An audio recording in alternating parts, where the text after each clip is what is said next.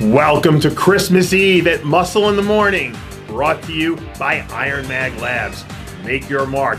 I'm Dave Palumbo, and today is Thursday, December 24th, 2015. And let's find out what's going on in the world of bodybuilding and fitness. The calendar year may be officially winding to a close, but we've already got our first signs of life from the 2016 contest season. Earlier this week, the official lineups were announced for the Arnold Classic, giving bodybuilding fans who are currently being afflicted by an incurable case of the winter blues something to smile about. With the lineups across every division loaded with former winners, high level veterans, and emerging young superstars, the world's biggest sports festival once again promises to deliver a weekend full of action and excitement for bodybuilding fans from across the globe. Believe it or not, we're actually T minus about 70 days until kickoff, which means that over the next few weeks, we're going to see plenty of drama play out in the headlines as we draw closer to the big day. Seeing his name on the official Arnold Classic invite list might have triggered an inferno under Fouad Abiad, who looks to be training like a complete savage these days. Just a few weeks removed from a hernia surgery that sidelined him briefly, Abiad is already back in the gym, grinding away on the road to his first career performance in Columbus, Ohio. According to Abiad's Facebook page, he wrote, quote, Holy shit, I didn't even apply for this, and I got this email this morning. Well, after notching the first two wins of his pro career at the Orlando and Vancouver Pro earlier this season, Abiad is closing out his career year riding one heck of a wave.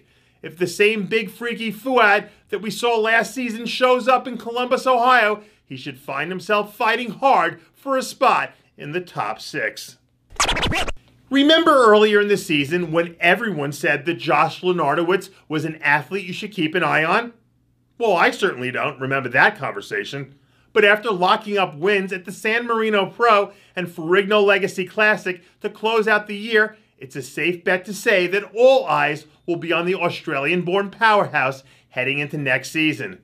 Tipping the scales at 300 plus pounds in the offseason, Lenartowicz has more than enough muscle to hang with the Kai Greens and Justin Comptons of the world. But the Arnold Classic is in San Marino, and the level of competition he's about to face is on an entirely different level.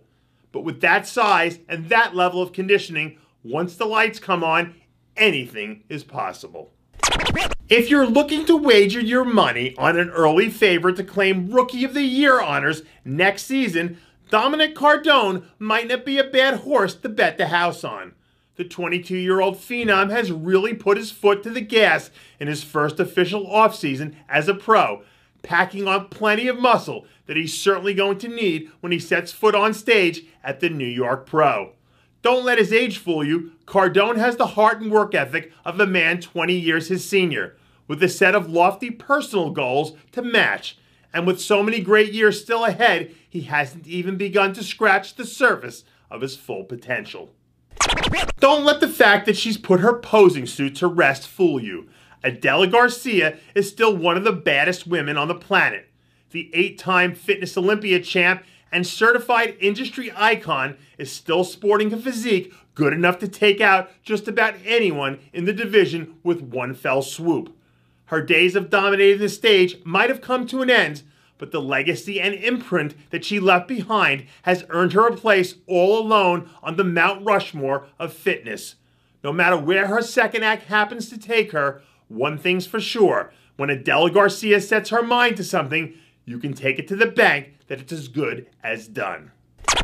And that does it for yet another edition of Muscle in the Morning, brought to you by Iron Mag Labs. Make your mark.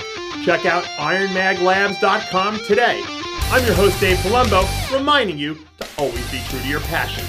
And make sure to follow us on Facebook, Instagram, and Twitter.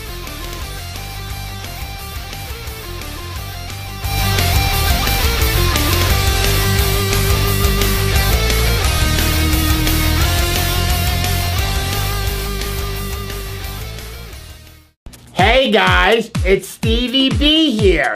If you like what you're seeing, hit the subscribe button below and never miss another RX Muscle show, segment, or update. RX Muscle is number one.